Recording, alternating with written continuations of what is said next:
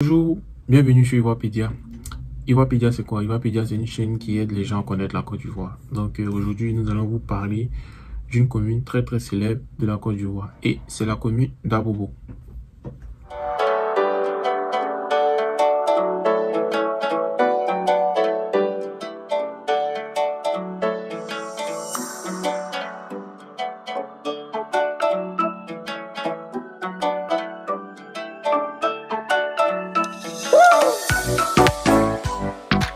La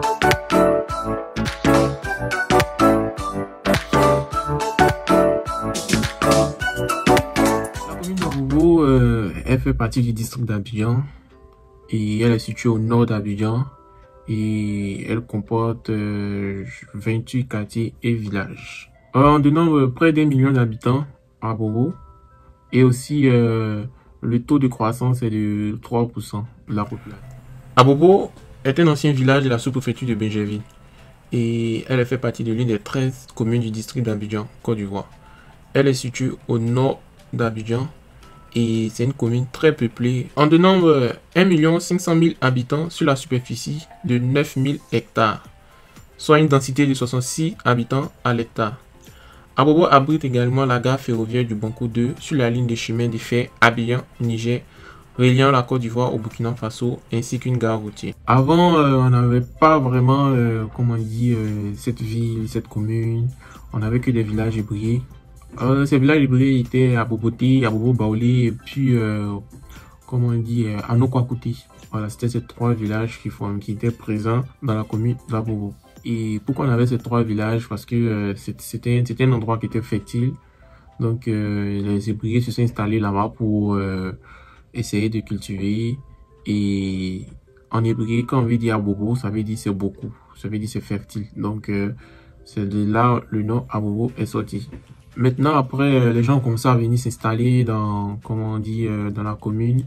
Ils ont, ils se sont installés au début autour de la gare. Donc, la commune s'est créée autour de la gare d'Abobo. Ensuite, la gare Abidjan-Niger. Donc, c'est de là qu'est partie l'expansion de toute Abobo. Euh, Abobo euh, compte euh, une dizaine de quartiers précaires et un bidonville. Euh, environ 60% de la population vit dans ces quartiers précaires. La commune d'Abobo ne disposait pas de moyens financiers pour la construction de logements sociaux. Sa politique est donc axée sur la restructuration des quartiers précaires et des bidonvilles. Cette restructuration vise également à la sécurisation des droits fonciers dans quartiers précaires. Euh, maintenant, euh, Abobo euh, est devenue une très grande commune parce que euh, elle sa principale source d'activité, c'est le commerce et puis aussi euh, genre, euh, le secteur informel. Donc, la, la principale source d'activité de, de population d'Abobo majoritairement vient du secteur informel. Euh, Aujourd'hui, euh, la commune s'est très bien, bien développée, mais on espère un très grand développement comparé aux autres communes d'Abidjan.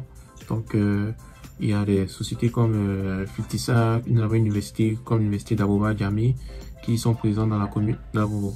Et puis aussi, euh, nous avons des écoles pri- privées, publiques. Nous avons comme le, lycée municipal et moderne d'Abobo.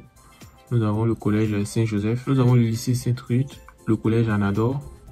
Et aussi, et aussi, nous avons le collège Sainte-Foy. Euh, on a le collège et le cours sociaux, le collège moderne Marie-Blanche, le collège moderne d'Abobo. En plus de cela aussi, nous avons plusieurs ONG qui aident vraiment la population d'Abobo.